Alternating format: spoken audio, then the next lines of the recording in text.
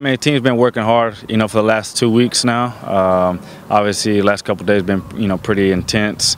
Uh, this morning was the same. Today was like a like an evaluation kind of training. Uh, I'm looking at we've got players coming back um, from injury or getting close to getting back, using them as neutral players. So we try to play uh, as many uh, group type, a large group type activities as we could to get you know, get AJ, David, and, and Daniel Hernandez back into the swing of things a little bit. Uh, the knee feels fine. Um, I just uh, right now it's just precautionary, just trying to uh, ease my way back into training.